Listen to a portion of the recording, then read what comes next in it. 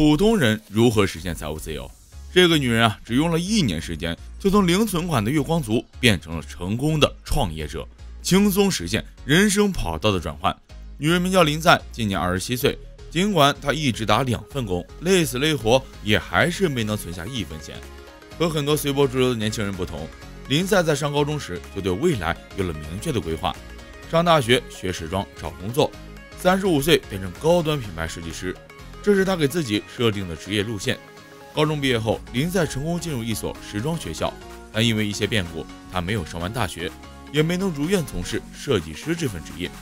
林赛现在打两份工，一份是在啤酒花园当服务生，另一份是在酒吧做酒保。他每周足足工作五十个小时，已经完全丧失了自己的生活。林赛每个月拿到工资的第一件事就是偿还信用卡账单，但是服务员的工资极其不稳定，他已经十四个月没能全额还款了。而对于林赛来说，最关键的问题还不在于此，他患有抑郁症和焦虑症，需要兼职服药治疗，但他交不起医疗保险，所以病呀只能先拖着。林赛已经付出了全部的时间和精力。赚到的钱仍然不能保障生活，他希望自己能够脱离服务业，重新回到艺术创作的职业道路上。为此，他寻求了理财师的帮助。听了林赛的自述，理财师提出了两条建议：首先是改掉大手大脚的消费习惯。对于林赛来说，在食物上浪费的钱最多，他和未婚夫的晚饭基本全靠外卖解决。餐厅的定价原本就不便宜，再加上配送费和小费，林赛一顿饭就能花出四十二美元。于是，理财师建议林赛一周去一次商店购买家庭装的预处理食物，不仅分量大，价钱划算，烹饪起来也不需要花费太多的时间。节省开支虽然简单，但能够省出来的钱是有限的，而赚钱这件事就没有上限了。理财师的第二个建议就是开启一份副业来弥补账单上的亏空。林在以前做过一份帮别人遛狗、寄养宠物的兼职，而且他也很喜欢画插画。理财师觉得这两者完全可以结合起来，不过副业只是林在度过财务危机的权宜之计，最终他还是需要找到一份可持续发展的工作。见面上当过后，林赛开始拿着本子去狗狗公园给小狗画速写，他会在纸的背后写上联系方式，把画送给狗主人，宣传他的遛狗和寄养业务。这个宣传策略确实有所成效，但是大多数的遛狗订单都集中在了周末，那也是林赛主业最繁忙的时候。权衡过后，他决定辞掉一份工作，专注在自己真正想做的事情上。有了空闲时间后，林赛去参加了艺术市集。他在自己的画里精心挑选了一些，打印下来放在摊位上售卖。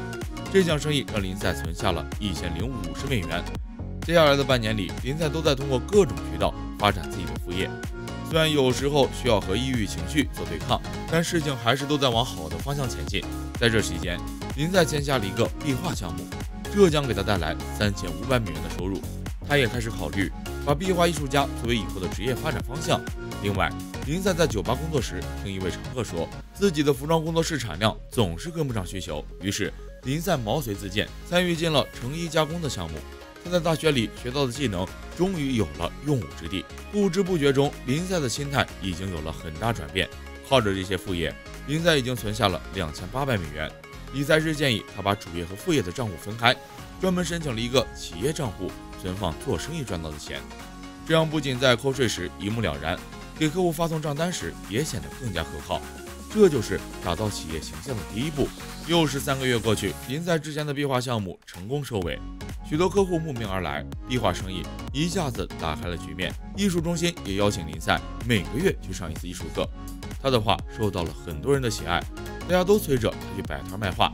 现在林赛已经彻底戒掉了外卖，每天晚上自己做饭。他已经存下了四千五百美元。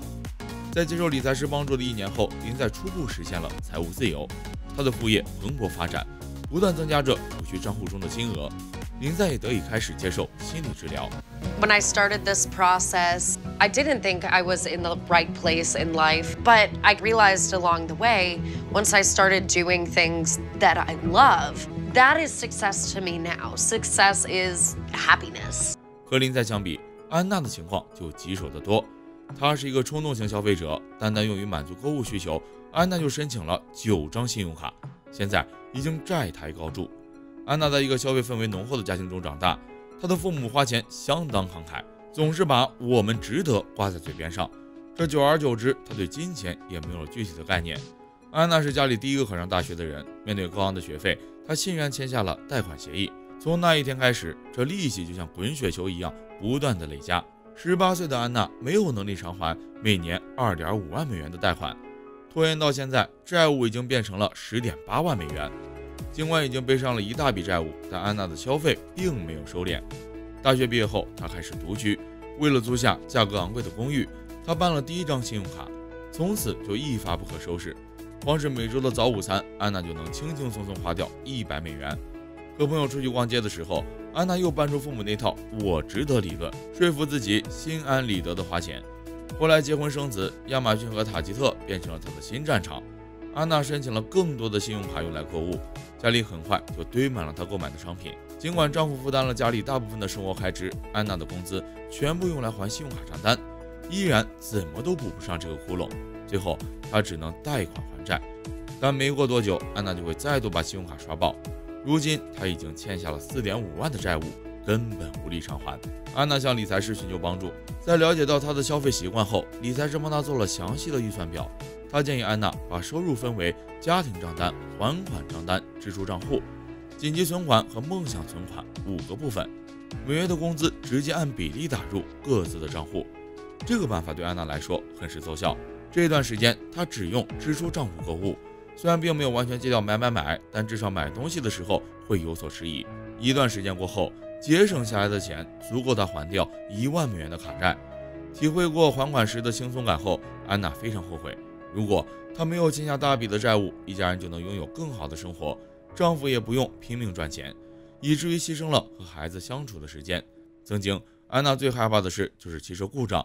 这辆购于2004年的车已经跑了22万公里，随时有损坏的可能。但安娜连400美元的修理费都拿不出。在改造计划进行到第六个月时，这辆古董车还是发生了故障。不过这次，安娜可以动用应急账户里的钱来修车，这也是她第一次体会到储蓄带来的安全感。为了扭转自己的消费习惯，安娜甚至戒掉了信用卡。她去超市时会严格按照清单购买商品，结账刷储蓄卡。一年过去，安娜的卡债从六点五万美元降到了五千美元，很快就能够彻底还清。她的梦想账户也已经有了一笔存款，可以用来完成一次她憧憬已久的旅行。从他们的身上能够看到金钱真正的意义。金钱的存在从不是让人沦为他的奴隶，而是通过它实现真正的自由。我是拉环，关注人间易拉罐，带你看更多不一样的人生百态。